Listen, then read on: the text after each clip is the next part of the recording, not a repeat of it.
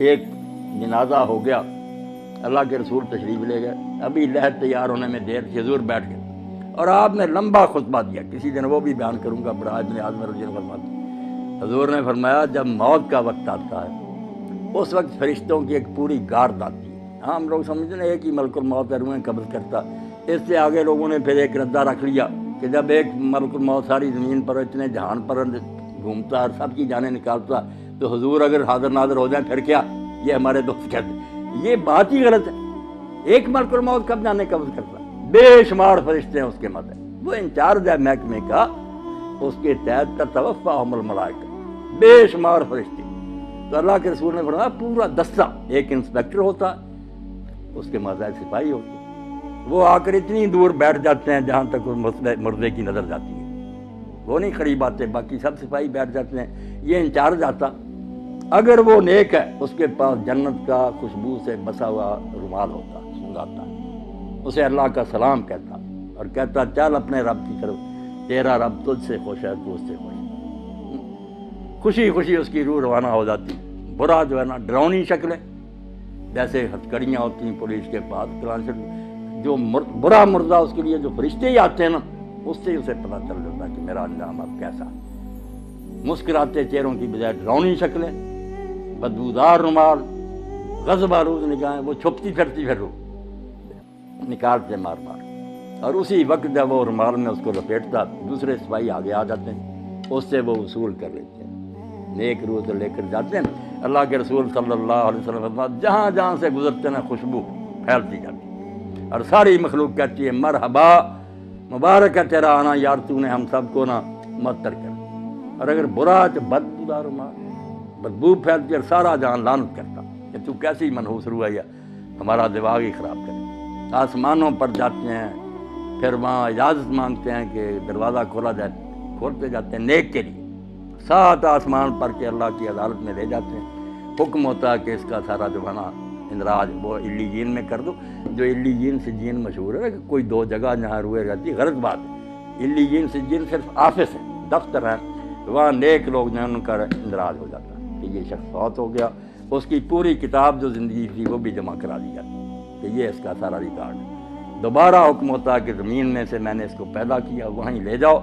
ज़मीन से ही दोबारा इसको पैदा वो रूह वापस आ जाती हैं फिर इसी कब्र की तरफ़।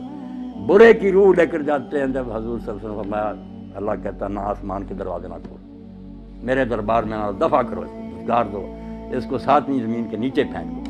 वहीं ही रह वहाँ से निकालें। लंबी हदीस है जो हज़रत से बराज ने नेक लोगों की रूहें खुशी में होती कैसी पाक ज़िंदगी उनकी, हदीस पाक में आता है सुनाने बने वादा के, जब उसको फरिश्ते आकर हिसाब के लिए कहते हैं ना कि जवाब दो इंसानों तो मंजर दिखाया जाता है सूरज गुरूब होने का।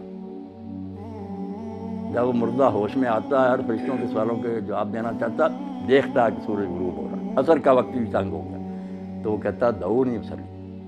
मुझे ज़रा मोहलत दो, मैं नमाज़ पढ़ वो कहते हैं, अल्लाह यार तो इसे क्या हिसाब लेना जिसको इस वक्त की नमाज़ याद मगर ये हाल उनका ही है ना, जो ज़िंदगी में नमाजी रहे। जिनको यहाँ कभी ख्याल ही नहीं आया कि नमाज़ नामी शायद मुसलमान का कोई काम है, उन्होंने वहाँ नमाज़ को क्या याद करना? ये सच्चा मोमन उस वक्त कहता है, देखते हुए कि सूरज जा रहा तो कहता है, यार, सवालों के जवाब दूँगा मैं, पहले मुझे नमाज़ पढ़ बड़ा खुश होते हैं। और जब सवाल करते हैं तेरा रब कौन है, तेरा दीन क्या है, तेरा नबी कौन है, देता तो कहते हैं, हम पहले ही जानते थे। इससे पूछते तूने ये कर उसने कहा, मैं अल्लाह की किताब पढ़ता कुरान से मुझे सब पता। तो कहते हैं, हमें तेरे बारे में यही तो सो जा।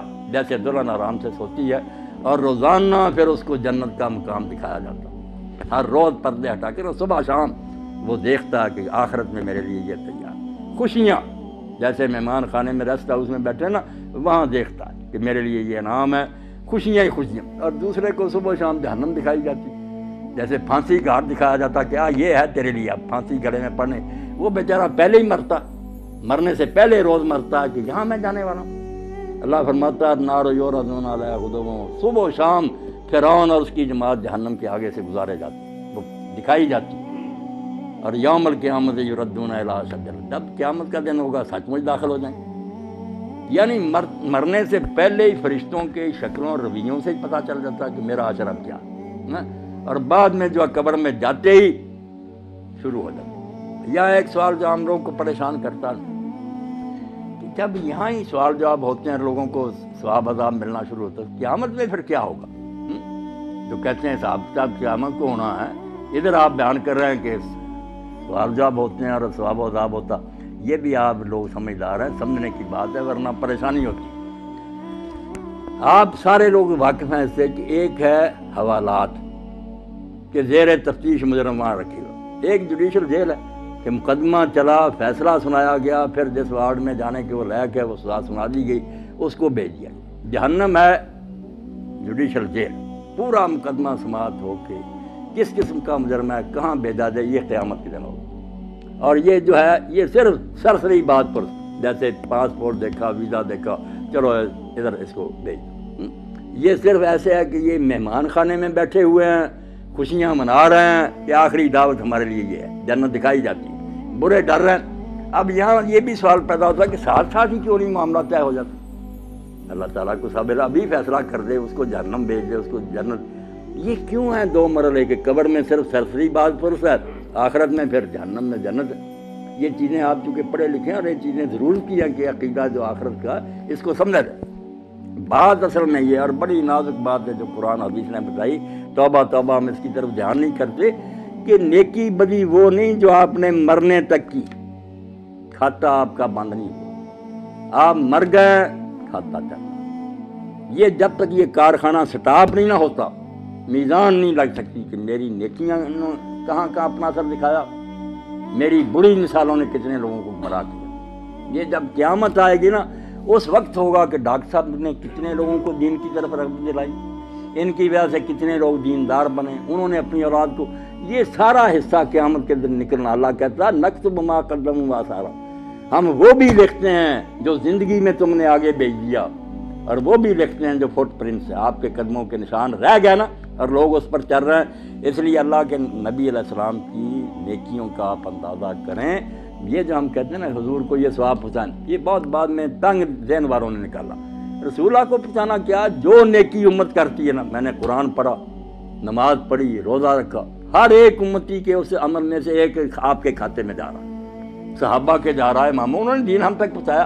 जो नेकी सिखाएगा, जितने उसके बाद जहाँ तक वो चलती रहेगी, उसको स्वाब मिलेगा। ये ऐसा बैंक का खाता है जो बंद नहीं होता और बुराई भी अगर आपने शुरू कर दी कि अच्छा बड़ा गाँव था, आपने कोई लड़की अगवा कर ली कोई कत्ल कर लिया, दुश्मनियाँ हो गई, आगे खून खराबे क्या तक चल रहे हैं तो आपको ऐसा नहीं मिलना। अगर हिटलर ने जंग अजीम लगा दिया सारी महँगाई होगी, दुनिया मर गई तो उसको सजा मिल सकती थी दुनिया में।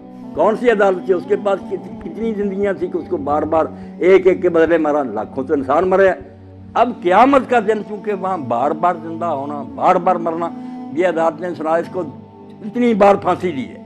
ये बेचारे कहते हैं, कानून के मुताबिक इसको देनी तो चाहिए, मगर दे नहीं सकते। वहाँ सचमुच जीत जाएगी। तो ये नेकी और बदी का जो लंबा चौड़ा सबर ना कि नेकियाँ भी जहाँ जहाँ जा रही हैं, ये भी आपके खाते में पड़ी। इसीलिए अल्लाह के रसूल सलाम फरमाते हैं, आदम का पहला बेटा जिसने अपने भाई को कत्ल किया। अब जब कत्ल होता, एक गुना उसके खाते में और कत्ल का पड़ता जाता, कि तूने ये सुनना शुरू की अगर ये बद रस्म तू शुरू ना करता तो क्यों इंसानों में कत्ल?